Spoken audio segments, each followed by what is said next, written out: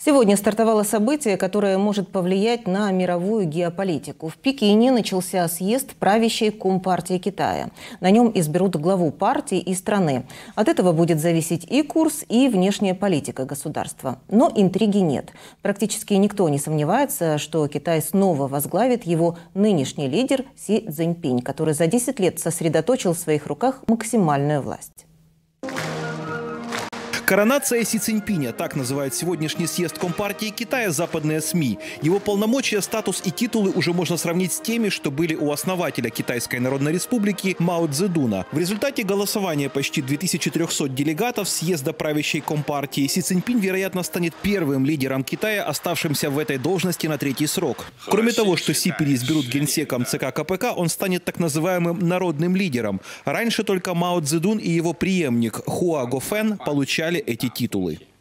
Все предшественники Си Циньпиня подчинялись негласному правилу – не более двух сроков на посту главы партии страны. Однако Си первым в новейшей истории Китая сломал эту традицию и начал укреплять свою власть в партии самым решительным образом. В 2018 году он отменил ограничение на два президентских срока, первоначально установленное бывшим лидером Дэн Сяопином в 80-х годах для предотвращения новой диктатуры. Центральный комитет объединил всю партию военных и китайский народ и повел их к эффективному реагированию на серьезные сложные международные события и ряд огромных рисков и вызовов. С большими усилиями и решимостью мы неуклонно продвигали социализм с китайской спецификой в новую эпоху. Накануне съезда Си Циньпинь устроил новые чистки. Сразу несколько руководителей высшего звена в КНР получили высшую меру с отсрочкой исполнения. В общей сложности с момента его прихода к власти под предлогом борьбы с коррупцией наказание понесло уже более миллиона чиновников разных уровней. Критики властей утверждают, что китайский лидер таким образом расправляется со своими политическими оппонентами. Китайского руководства стали протестные баннеры, развернутые на мосту в Пекине, с такими словами «Нам нужно достоинство, а не ложь. Нам нужны реформы, а не культурная революция. Мы хотим голосовать на выборах, а не иметь лидера. Не будьте рабами, будьте гражданами». Что случилось с протестующими, не сообщается.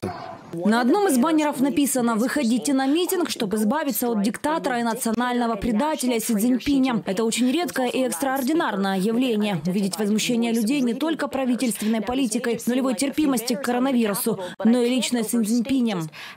Юбилейный 20-й съезд Компартии Китая продлится почти неделю. Такие собрания проходят раз в пять лет. Оценивается деятельность партии в предыдущий период и строятся планы на следующую пятилетку. Ровно за месяц до съезда на страницах наиболее авторитетного идеологического журнала Компартии вышла статья Си Циньпиня, где он перед выборами пугал Китай распадом СССР. По его словам, китайская Компартия – флагман глобального социалистического движения. И именно поэтому она должна научиться постоянно исправлять себя, чтобы избежать судьбы Советского Союза. Союза. Также Си призвал армию Китая готовиться к войне. Одна из навязчивых идей Китая состоит в том, чтобы не допустить, чтобы Китай не повторил судьбу Советского Союза. Я думаю, этим одержим Си Цзиньпинь. Вот почему он укрепил партийное руководство наверху страны. И он также усилил идеологическую работу в борьбе против любых либеральных идей в Китае и за его пределами. Когда Си 10 лет назад пришел к власти, Соединенные Штаты все еще были партнером Китая. С тех пор Пекин стал главным экономическим противником Вашингтона региона. Начатая еще Дональдом Трампом политика сдерживания заставляет Пекин адаптироваться к новой реальности, снижать зависимость от экспорта, добиваться технологической самостоятельности, искать неожиданных союзников. В то же время, со стратегической точки зрения, я думаю, что Китай не может ослабить свой квазисоюз с Путиным, с Россией. У Китая не так много друзей по всему миру, и Путин – один из самых надежных друзей и партнеров. Антиамериканские настроения Си Циньпиня, расширение глобального влияния Китая, возрождение диктатуры и партии государства могут сблизить китайского лидера с наиболее опасным диктатором мира Путиным. С другой стороны, провокационный с точки зрения Китая визит Нэнси Пелоси на Тайвань доказал, насколько хорошо выстроена коммуникация между Пекином и Вашингтоном, несмотря на ожидания Москвы и вопли российских пропагандистов про начало Третьей мировой войны. Шарахнут или нет? Западные и украинские эксперты считают, что Си Циньпинь продолжит международный курс на выведение Китая в лидеры мировой экономики. В отношении России Пекин будет исходить из своих интересов. Когда выгодно, будут поддерживать, когда нет, промолчат. В отношении Украины Китай будет продолжать занимать нейтральную позицию. Сдерживающим фактором будет то, что страны ЕС продолжают быть главным торговым партнером Китая в мире.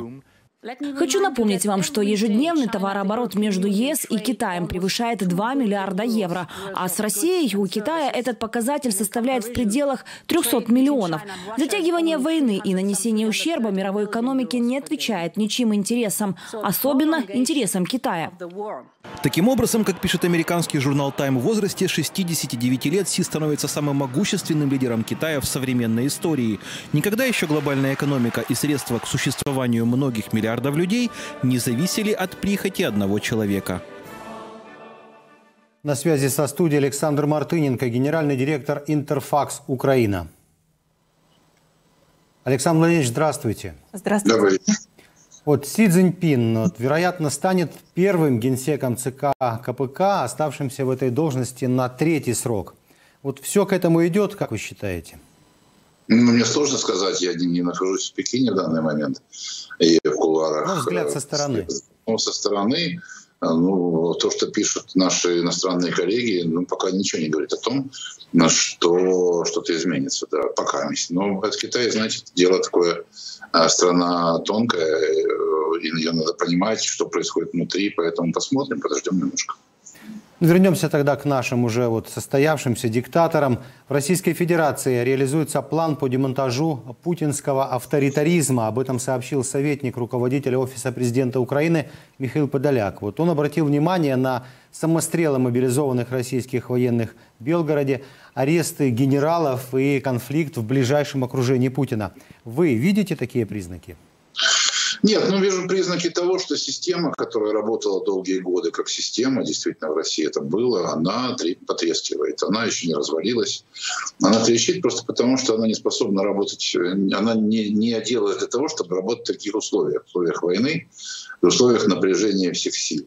Давайте будем реалистами, Россия все это время Э, спокойно продавала нефть и газ, спокойно их употребляла, спокойно, э, кому надо, повышала зарплаты, когда надо, не повышала. И, в общем, жила в относительно таком, э, таком вальяжном режиме, имею в виду элиту тоже. Поэтому они, конечно, разучились и работать много, и думать быстро. Ну, не надо было все эти годы.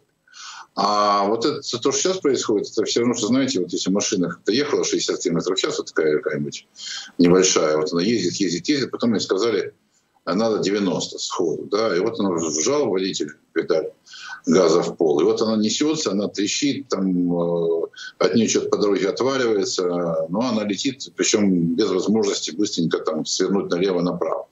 Вот это немножко напоминает всю эту российскую систему, поскольку, еще раз говорю, она не была приспособлена для работы, э, работы в условиях напряжения, предельного напряжения. Сразу выползают какие-то недочеты, какие-то проблемы, какие-то нехватки, дефициты, что-то где-то украли, но при этом не надо забывать все-таки про размеры размеры большие, размеры страны, ресурсов, все остальное, то, условно говоря, даже если половину украдут, все равно половина останется. Да, и эти, эти ресурсы могут быть направлены на войну, поэтому для, для нас испытание, конечно. Александр Владимирович, вот мобилизация в России, чем закончится это все, по-вашему? Вот пилота уже с рейсов снимают, повестки раздают возле метро, на похоронах. Знаете, я сегодня там читаю разные оценки того, российские оценки, в том числе и оппозиционные, сколько там на самом деле всего а, мобилизовано, причем они самые разные. Там от 220 тысяч, про которые говорил Путин, до 700 тысяч, которые, по мнению некоторых, уже реально реально э, призваны для того, чтобы закрыть полностью линию, как они говорят, линию вот, э, соприкосновения, раньше говорилось, теперь линию фронта, полностью закрыть ее вот этими окопами, а не опорными пунктами. А, знаете, в принципе, э, нагнать людей они, конечно, могут. И как мы видим, ну, многие россияне, они, может, им что-то не нравится, а нравится, не нравится, как сказал Путин, ну, понятно, надо идти. И вот они им не нравятся, они идут, и так или иначе, они, конечно, получат свои автоматы, не все получат бронежилеты, они э, сядут где-то в степи, в степи холодные, многие без зимней одежды, конечно, получат там э, пневмонии и уедут, это самые счастливцы, получат пневмонию и уедут лечиться. Ну вот, но достаточно много народу, конечно, будет там, э, будет там сидеть. Вопрос один, связанный с мобилизацией, на который ответа реального нет. Сколько они украли, например, зимней одежды, и сколько они смогут сейчас купить на Алиэкспрессе. Я про Алиэкспресс не шучу, это на самом деле правда. Они покупают сейчас, э, насколько я знаю, россияне покупают на Алиэкспрессе зимнюю одежду. А, сколько украли боеприпасов, сколько украли автоматов. А масштабы воровства, поскольку их не знает Российская Федерация сам по себе, включая Путина, я думаю, что для многих это будет неожиданностью, но мы точно этого не знаем, мы это сейчас увидим. А, то есть вопрос не в том, сколько можно загнать людей там, в степи под Херсон, а сколько можно вооружить, одеть, обуть и накормить. Потому что если, если толпа будет голодная, промерзшая, то это уже действительно будет напоминать российскую армию э, перед 17 годом. Да и то там было более-менее неплохо с снабжением по сравнению с нынешним. И тогда, конечно, вся эта толпа становится малоуправляемой и маломотивированной. А, посмотрим. Но еще раз говорю, понятное дело, что никакие никакие э, там, серьезных сил из них э, сколотить не получится, но масса, в том числе завезенная там, на Беларусь, например, э, с угрозой э, нашему э, северу, который тоже все видят, все понимают и предпринимают меры, но тем не менее это огромная масса народа. Насколько она вообще способна хоть на что-то, думаю, сейчас не знает никто, включая их командира. И мы будем наблюдать за этим, за этим зрелищем в ближайшее время. А то, что расстрелы э, подобные в Белгородском будут продолжаться, в этом не сомневаюсь. Потому что, э, понимаете, не в традициях российской армии, российского общества толерантность. Я имею в виду сейчас толерантность, например, к представителям э, других религий. Как мы знаем, э, глубоко убежденная, убежденность есть в российском обществе и в армии тоже о том, что на самом деле все эти мусульмане, они э, не то что не друзья, они скрытые враги. И вот это, только чем больше их призовут, значит, в армию мусульман, тем больше таких потенциальных точек и потенциальных мест расстрела сослуживцев появится в российской армии. Ну, вот продолжая вашу мысль, да, на уходящей неделе была еще одна новость. Регионы России, которые дают больше всего солдат и имеют больше всего потерь в этой войне, они оказались и самыми бедными в России. Рейтинг составила РИА Новости, это Тува, Калмыкия, Дагестан, Бурятия. Вот не обидно ли людям там, скажите, и гибнуть, и жить в нищете? Есть надежда какая-то хоть на сопротивление в национальных республиках? Не, вы знаете, я думаю, надежды особенно никакой нет, потому что все, что, вот что сделала за 20 лет а система в России, она просто полностью уничтожила ну или практически уничтожила вот это понимание о том, что человек тувинец, который, э, то есть человек, который живет в Туве, это он тувинец, и у него есть какая-то национальность. Они все говорят, что вы все россияне. Вот, поэтому иногда это там этому сопротивляются, но очень часто нет. И не будем забывать, вы правильно сказали, что там же самые бедные регионы, да, там же денег нет, там перспективы нет, там ничего нет. А тут им говорят, слушай, ну вот там тысячу долларов в месяц или полторы будешь получать, а потом вернешься, будешь уважаемым человеком, поэтому э, люди оттуда едут. Ну и знаете, у буддистов все-таки тоже, если говорить, то вера другое немножко представление о жизни и смерти. Они, для них смерть не так э, трагична, как для, для нас. Поэтому будут они ехать, э, как миленькие. Я бы, честно говоря, не думал сейчас и не надеялся о том, что речь пойдет об, о, том сопротивлении национальных республик, как у нас многие говорят, что народы проснутся, народы эти спят глубоким сном. А если говорить о внутренних противоречиях, там значительно больше э, на уровне экономики, на уровне вот, неравенства э, людей, которые живут, пусть, допустим, в двух русских городах, но резко отличающихся друг от друга, которые живут, например, в моногородах, э, где производство закрылось на заводе, который был градообразующим, и жизнью относительно комфортной и безопасной жизнью в столицах например. Ну и самое главное, это противоречие не на уровне людей, да, то есть не отношение людей к власти, давайте про это сейчас не говорить и даже не надеяться, а противоречие внутри российской власти между теми людьми, которые находятся формально недалеко от Путина, а фактически уже являются полевыми командирами. Я имею в виду Пригожина, Кадырова, а, там отдельные людей из главного управления бывшего ГРУ, а, ФСБ и так далее. Они все больше начинают напоминать полевых командиров э, времен а, независимой Ичкерии. Я сейчас не сравниваю как вы государства, я сравниваю их, их самостоятельность. Они очень самостоятельны становятся. У них есть танки, у них есть э, бронетехника в целом, масса вооруженных людей, а у некоторых есть самолеты, например. А, и, честно говоря, мне больше кажется вероятность того, что они в один прекрасный момент начнут разбираться, кто в Москве главный, значительно больше, чем, допустим, наша вероятность каких-нибудь народных взрывов. В конце концов, все эти дворцовые перевороты или попытки значит, взять власть вооруженным путем в истории Российской империи это не новость, это, я бы сказал, даже традиция. Президент Таджикистана Эмомали Рахмон на саммите Центральной Азии Россия призвал Путина с уважением относиться к своим партнерам, а именно попросил не проводить по отношению к странам Центральной Азии политики, вот как бывшим республикам Советского Союза.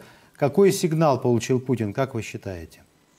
Ну, Путин получил, я думаю, не сигнал, а получил подтверждение того уже мнения, думаю, они уже сформировалось потому что как бы еще, о том, что друзей у него э, нет вообще никаких. А, вот, а э, соратников э, временных, типа там Северной Кореи и Беларуси, можно посчитать по пальцам одной руки, а не двух. А все остальные это не друзья, не соратники, это те, кто только ждет удобного момента, чтобы вставить ему нож в спину. И я должен сказать, что он, если это он об этом думает, то он не далек от истины. Это правда.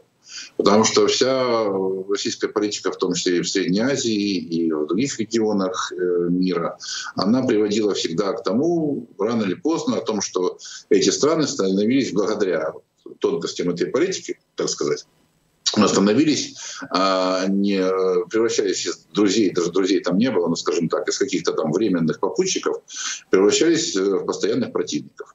Вот что, собственно, по какому пути идут страны Средней Азии. Тем более, что их с благодарностью и с радостью, я бы сказал, встретят а, в объятиях Китая, о котором мы уже говорили.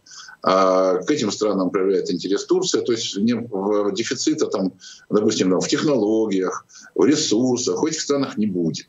И они об этом знают. И Россия не является монопольным поставщиком ресурсов, ресурсов туда. А у них, на самом деле, в том числе вот Таджикистан, например, о котором мы говорили, есть э, большие э, сказать, собственные преимущества. А именно та граница с Афганистаном, которые, которые э, Рахмон контролирует. И отношения, насколько я знаю, с Афганистаном у них там более или менее налажены.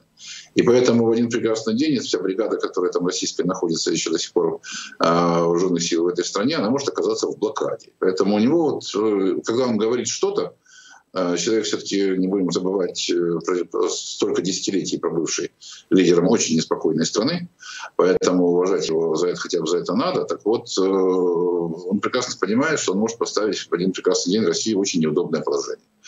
И вот, собственно, это да. Он, я бы сказал, что это такое коллективное э, коллективный сигнал от среднеазиатских республик. Я, кстати, не удивлюсь, если они даже, ну, кроме Киргизии, это отдельная история, что они даже там посоветовались, кто об этом скажет. Вот. Ну, видимо, вызвался Рахмон и вот выразил общее мнение. Но это выглядело как такая даже пощечина, вы знаете. Я думаю, что Путин не ожидал этого. Нет, демарш называется. Это не пощечина, это демарш. Я думаю, что он согласован был как минимум на уровне там, узбекского, казахского э, президентов. Еще раз, Киргизия немножко другая история. Может быть, туркменского. Во всяком случае, он на самом деле выражал, конечно, общее мнение всех этих э, стран, которым уже, я бы сказал, знаете, когда они опасались Россию всерьез, когда в России были развязаны руки, когда не было войны, когда масса была под рукой э, военнослужащих, которых можно было туда отправить, э, они, как мы помним, особенно там не, ну, старались там вести себя очень скромно и, и э, сдерживались. А теперь, когда они видят, что в России возможностей-то меньше, с каждым днем все меньше и меньше, что армии уже пугать не надо, потому что вся армия э, в Украине, и вокруг нее, а там ничего не осталось. А то, что будущее у самого режима в связи с санкциями и всеми остальными достаточно такое туманное, как минимум, вообще печальное, то почему же, видимо, посчитали, что пришло время, например, сказать в лицо. Не какой-нибудь там пресс-службой МИДа, а просто вот в лицо сказать э, Путину, что все, хватит, мы уже не младшие братья, мы вообще, может, не братья. Поэтому давайте так, вот как вы к нам, так и мы к вам. Это смысл прозвучавшего был такой. Ну, конечно, в истории я не знаю, этих объединений СНГ, Евразийского союза, какие угодно можно называть, но в этой в большой этой истории я должен сказать, что это ну, беспрецедентный случай. В Гаге создают специальный трибунал для суда над Путиным и всем политическим руководством России. Вот суд э, может начать работу примерно через год. Каким, вы считаете, должно быть наказание для этих людей? Ну, знаете, насчет судебной перспективы э, всего, всего того, что касается режима, я бы сейчас особенно не э, больше следил ситуации, потому что э, мы все прекрасно понимаем, насколько это трудно. А насколько трудно на международном уровне кого-то осудить. Такие случаи на самом деле считаны есть э, в нашей истории, там, условно, Милошевич, которого так или иначе суд не закончился, он умер, там, тем не есть э, там, полевые командиры этого, времен Югославской войны, есть э, значит, некоторые организаторы геноцида в Африке в разных странах, э, и, собственно, все. На самом деле, международное правосудие, оно э, не поставило на поток вот такое вот э, осуждение Э, диктаторов, агрессоров и остальной, остальной разной этой публики. А, это, это мы на самом деле вот своими усилиями вырабатываем это, этот механизм. И, надеюсь, выработаем. А, но еще раз, мне кажется, что рассчитывать на Нюрнберг вот прямо сейчас э, сложно, потому что Нюрнбергский трибунал имею в виду, а потому что ну, для этого должно быть воен, полное военное поражение. Причем не относительное военное поражение России, а полное военное поражение России. Ну, как мы помним, а, Нюрнберг начинался тоже не с полного поражения Германии. Еще с 1942 года начинались первые переговоры да. о том. И англичане, да. кстати, говорили, когда говорили о нацистах, они говорят, что нужно э, обсуждать только место, где их вешать и длину веревки, если вы помните. А, кстати, в Гаге вот сейчас разминаются, да, если можно сказать. Начался суд над фактическим спонсором геноцида в Руанде, Фелисьеном Кабутой. Он был владельцем радио и телевидения «Тысячи холмов». Вот этот рупор разжигания межнациональной вражды, он сыграл одну из ключевых ролей вот в геноциде. Да? Его обвиняют вот как раз в преступлениях против человечности. Как видим, срока давности за такие преступления не существует все-таки. Безусловно. И э, если иметь в виду знаете, самых ярких персонажей, он-то был и э, рупором одновременно, да, и финансистом одновременно, ну, такая ключевая фигура. Но все-таки давайте, ну, разница есть в том, что это все-таки небольшая страна, и он в итоге оказался живущим во Франции, в общем, бедным, без денег, без никого, без ничего. И поэтому его взять было просто уже проще простого. Мы имеем дело все-таки со сверхдержавой, но и я бы все-таки больше, если проводить аналогии, то не с этим судом. Э, поэтому э, случаю скорее это привет Соловьевым Э, Киселевым и Симонян. А с ними, кстати, может быть. А вот что касается остальных именно организаторов, это, конечно, больше действительно ближе к Нюрнбергу. Я согласен с тем, что готовиться к этому надо, но еще должно быть понимание, что а, может, это и произойдет действительно раньше, чем мы думаем. Потому что тоже, когда а, в 1942 году начинались все эти процедуры, я думаю, тоже никто не рассчитывал даже, что это за три года произойдет. А, так вот, готовиться, конечно, к этому надо, но четко надо понимать, что да, вот уже в решающую фазу, фазу осуждений этот процесс перейдет э, тогда, когда будет военное поражение. Но при этом еще раз момент не надо забывать другого, о том, что был а, кроме Нюрнбергского трибунала, было еще масса национальных трибуналов. Все-таки в Германии это и уникальный тоже случай, когда, правда, они шли, шли не очень долго и начались не сразу осуждение разных преступников на разных уровнях. Я думаю, что это не менее важно, чем, а, чем работа с лидерами и организаторами, потому что это огромное количество людей, которые так или иначе способствовали вот выстраиванию режима, а, там, подавлению всех возможных прав и свобод а в отношении Украины и просто уголовных преступлений. Ну, кстати, вот Нюрнберг просто дал юристам, да, всем судам инструмент, которым можно пользоваться. И, кстати, напомню, что сегодня как раз тот день, а, когда были казнены нацистские преступники в Нюрнберге.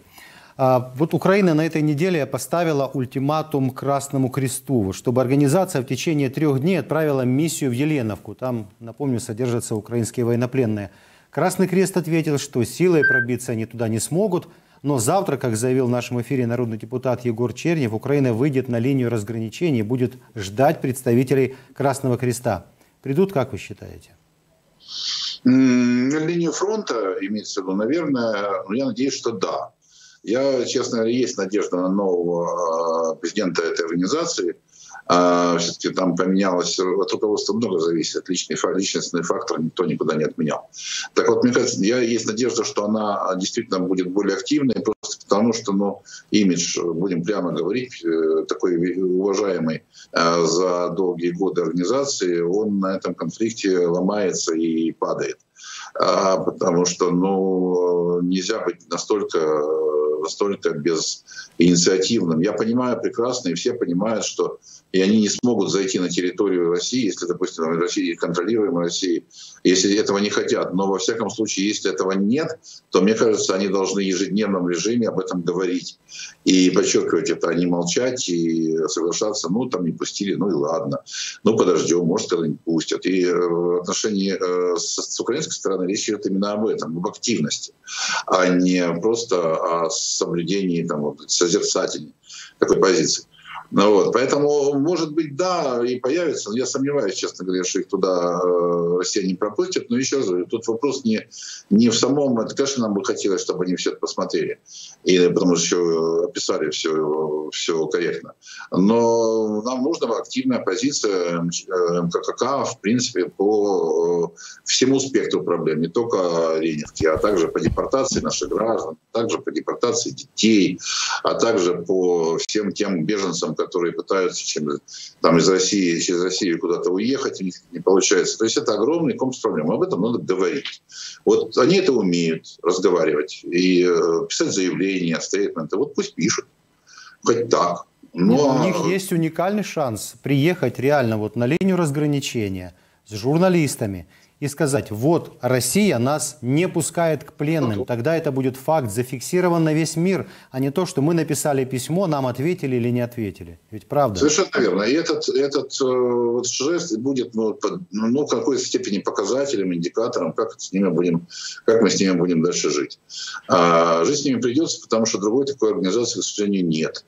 А, с, таким, э, с такой разветвленной системой Э, системой отделений по всему миру, с таким имиджем и так далее. Но вот нет ее.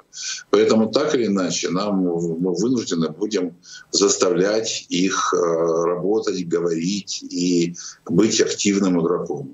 Я очень надеюсь, что у нас это получится. Ну, мы тоже надеемся, и мяч сейчас как раз на их стороне. Спасибо вам большое. Александр Мартыненко, генеральный директор Интерфакс Украина, был в нашем эфире. Благодарю вас. Спасибо.